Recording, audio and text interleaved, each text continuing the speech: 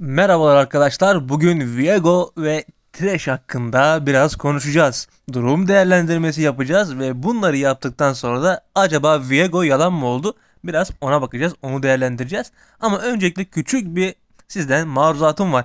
Yapılan bazı yorumlara bakıyorum. Adam videonun tamamını izlemeden yersiz saçma yorumlar yapmış. Yorum yapmaları içimize geliyor. Eyvallah. Ama mantıklı yorumlar da okumak istiyoruz. Bu sebeple lütfen videoyu izleyin ki daha doğrusu soru soracaklar özellikle tamamıyla izleyin ki yorumlar daha kaliteli olsun. Bu sebeple de biz normalde yapılan yorumlara hiç bakmayabilirdik. Senin bunalımın keyfin varsa sana bana ne amına koyayım. Ben içiyorum. Hadi afiyet olsun. Der geçerdik. Bu sebeple çok da uzatmadan öncelikle biraz Trash'ten söz etmenin vakti geldi. Sonra da Viyogo'ya geçeceğiz. Ha bu arada bildirimleri açmayı lütfen unutmayın. Özellikle abone olmayanlar abone olmaları onların işine gelecektir. Çünkü bunun gibi yeni haberlerden ve gameplaylerden kanalımıza sık sık yer vermeye devam edeceğiz. Öncelikle Trash'ten biraz söz edelim. Bildiğiniz üzere eşsiz yüksek beceri kiti ile bu sebepten dolayı epey LoL'de yankı uyandıran bir kahraman. Wild Rift ekibi de 2019'da bile Wild Rift'e kesinlikle dahil edileceği kanaatindeymiş. Ama ne zaman ve nasıl olacağı hakkında soru işaretleriyle yola koyulmuş. Tabi içinde bulunduğumuz bu ışık muhafızı etkinliği de onlar için epey bir fırsat olmuş. Ve Thresh'in hikayesini yakında öğrenmemiz adına daha doğrusu öyle söylüyorlar. Yakında öğreneceğiz onun hikayesini diyorlar. Nereden diyorlar? Hemen onu da ekrana koyacağım. Bittiğini, bu yapılan tüm hazırlıkların bittiğini sadece oyuna gelecek Ağustos ayını beklememiz gerektiğini Wildrift ekibi bizlere bilgiyle gösteriyor. Şimdi ufaktan siz bu sahneleri izleyin. Hemen ardından da Viego'ya geçelim.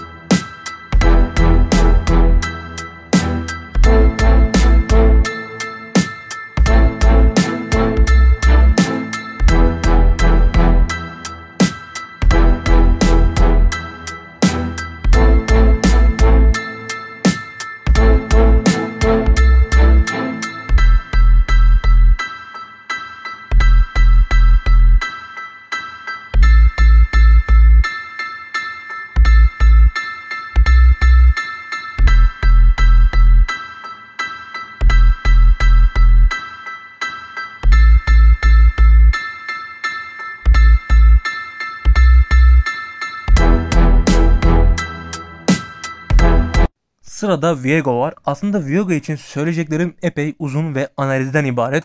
Viego henüz Wild Rift topraklarına gelmeyecek arkadaşlar. Bunu neye dayanarak söylediğimi ekranın köşesine bir yere koyacağım. Çünkü mekanik olarak oldukça karmaşık bir şampiyon ve işin diğer yanı da şampiyonu mobile uyarlarken teknik olarak daha da karmaşık.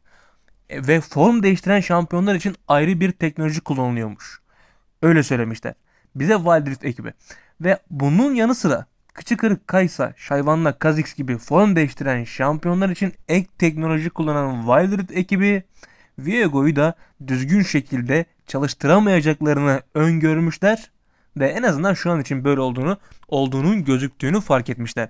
Viego teknolojileri daha ileri hale geldiğinde oyunu Viego'ya göre adapte etmeye çalışıyorlar. Daha doğrusu Viego'yu oyuna göre adapte etmeye çalışacaklar. Onların da bu ilgi çekici kahramanın herkes tarafından istenmesi ve beklenmesi işlerine yarıyor ve tüm çabalarıyla uğraşıyorlar.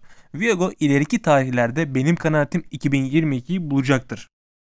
Onu tekrar 2020 sularında, civarlarında görmek mümkün olacak. Tabi 2022 gelen gelirken arada geçecek olan aylarda da aylarda da ben umuyorum ki ve buna yakın bir e, öngörüyle bakıyorum. Kesinlikle yama notlarında yer verilecektir. İşin gidişatı hakkında bilgi vermek amacıyla. İşin aslı arkadaşlar Viego ben şahsen bu yıl beklemiyorum. Ama sizin ve benim beklediğimiz bir hero daha var. Bir kahraman daha var hero. İleriki günlerde kanalda edindiğim bilgiler ışığında ve bu bilgiler benim için çok güzel bir öngörü oldu ve onun analiziyle sizlere paylaşarak kanalda yer vereceğiz. Umarım beğenmişsinizdir. Umarım kanalımızda aktifliğiniz devam ediyordur ki özellikle topluluklara da bakmayı lütfen unutmayın. Sizlerle asıl oralardan iletişim ve Discord üzerinden iletişim sağlıyoruz. Ve lütfen ve lütfen yorum yaparken videonun tamamını izleyin. Şimdilik kendinize iyi bakın. Hoşçakalın.